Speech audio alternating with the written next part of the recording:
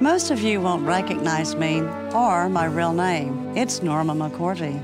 I'm also known as Jane Roe, the plaintiff in the Supreme Court case, Roe versus Wade, which legalized abortion in America and changed our nation in an unprecedented way. Back in 1973, I was a very confused 21 year old with one child and facing an unplanned pregnancy. At the time, I fought to obtain a legal abortion, but the truth be told, I have three daughters and have never had an abortion. However, upon knowing God, I realized that my case, which legalized abortion on demand, was the biggest mistake of my life. You see, abortion has eliminated 50 million innocent babies in the U.S. alone since 1973. Abortion scars an untold number of post-abortive mothers, fathers, and families too.